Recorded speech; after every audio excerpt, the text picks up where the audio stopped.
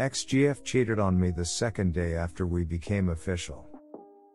My 21M life has been in a whirlwind for the past two weeks now, to say the least. Luckily, we were only together for three months, but everything felt so right, and I was so happy with her 19F. But the woman I thought she was never really existed, and that's what hurts me so badly. She told me that this guy was her gay friend and she talked to him about our relationship and looked for advice. So imagine my surprise when I look in her phone and find a video of him ducking her without a condom and has come on her back literally the second day after we became exclusive. Guys, a ducking broke me. So many ducking lies I had been fed by her and I believed them all because I had faith in her. She literally introduced me to her family not 24 hours after she betrayed me in the most evil way, and I still can't even grasp why she did it. It literally makes no sense at all. I'm more attractive than him, I have a better body than him. She told me I was the best thing that ever happened to her and that no one has ever made her feel like I did and that she couldn't imagine living without me. Literally, he only wanted her for her vagina, but I wanted all of her, she was the only girl I desired. I was the first person to ever give her an orgasm. She told me that no guy had ever given her head before and sex with me was unlike anything she ever had experienced. I always put her pleasure above mine every time. I have since broken up with her and for a while she begged me to take her back and I really considered it but the girl I was in love with never really existed. She died the night I found everything. I am just so happy I found out when I did. I cried every day for a week straight, but I can't imagine how I'd feel if it came to light a year later. Now I just feel so lonely, and I miss the intimacy and having someone to love. I guess my question to her is if I was the best thing to happen to you, and you couldn't imagine life without me, why did you betray me in the most evil way? And why did you continue to betray me every day with all the little lies? I can't imagine ever doing this to someone I claim to love, and I pray it never happens to me again. And I pray I can finally heal and find someone who is faithful and honest with me. Be glad it was only three months, she was not the person you thought she was. Time to focus on yourself. Run. She doesn't love you, doesn't respect you, doesn't value you. Grieve, cry, scream and go through the process. But you don't deserve this. Run, my friend. And learn to love yourself. I've cut all contact with her and want nothing to do with her anymore. It's just hard for me to grasp how everything can feel so perfect and it all crashed down in one night. My brother be thankful it was only a handful of months.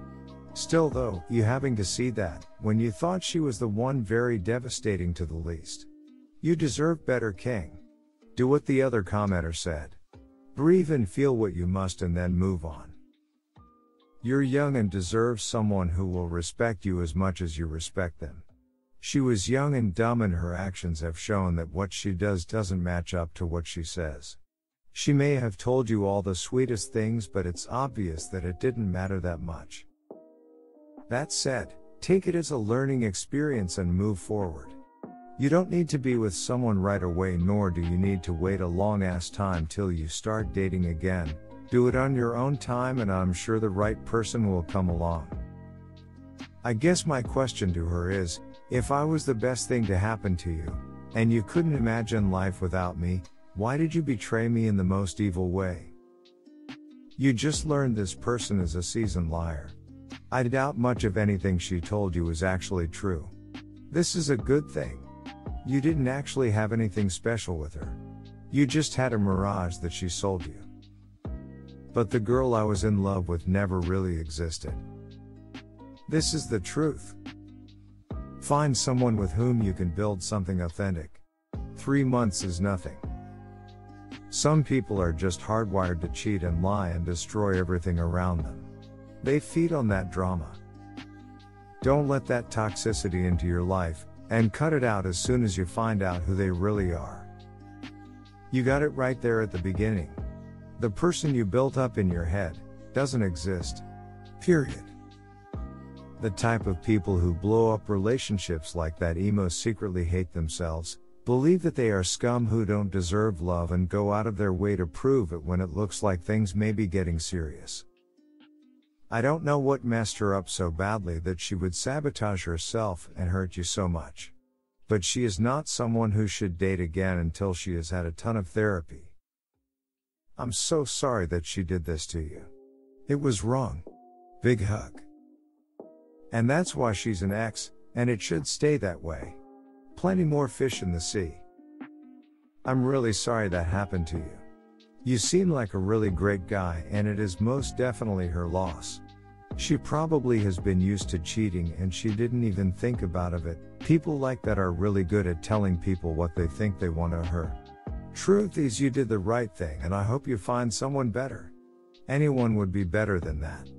You would think someone who never really existed would be easier to let go but it isn't. I caught my lover doing something the other night and we talked for a few minutes and I've let it go and have yet to bring it up.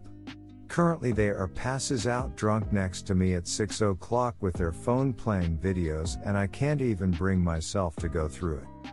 It makes me sick. But I know I'm in trouble.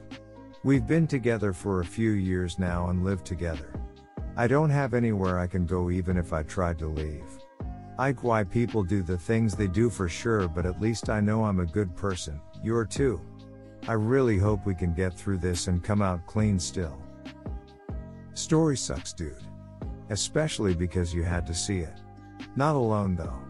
I fell hard for this girl a few years ago. We started dating but weren't exclusive.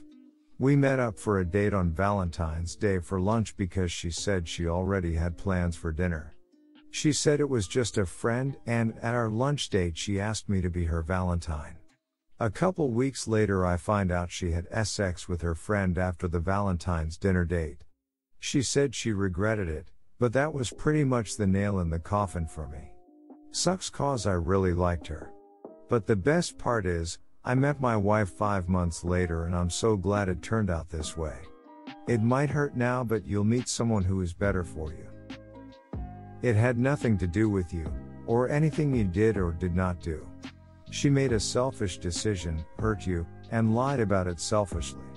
She made a promise and broke it. And now she is paying for it. Cheating doesn't usually have a reason. I sought one for a long time after I found my ex fiance's burner phone almost a decade ago. It takes a kind of selfishness many of us just don't have to cheat on someone you care about. And looking for logic in it makes sense. Humans want logic to make pain make sense, but you can't find it, and it's best to make peace with the idea that you just had an encounter with a selfish person. She wasn't compatible with what you wanted. And you will heal. Unfortunately, it just takes time to feel better and try to trust someone again. But good people are out there. I'm with a better person now myself.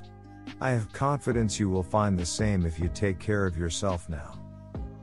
The woman I thought she was never really existed. This is the lesson. Be very cautious in your thinking processes. Have you ever heard of the placebo effect? We can be given a sugar pill, and because we are told it will help our health, we willingly believe it, and it actually seems to work. This girl was your placebo, you wanted her to be something she wasn't. I'm sorry you are hurting. Older and wiser. But don't feel too bad. As the song says, everybody plays the fool. Sometime there's no exception to the rule. It may be factual, may be cruel, sometime, but everybody plays the fool. I've played the fool, he's played the fool, she's played the fool, you've played the fool, everybody's played the fool. You're only human. You will survive. I have a better body than him.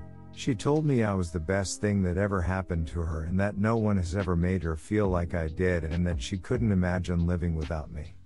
Literally, he only wanted her for her vagina, but I wanted all of her. She was the only girl I desired.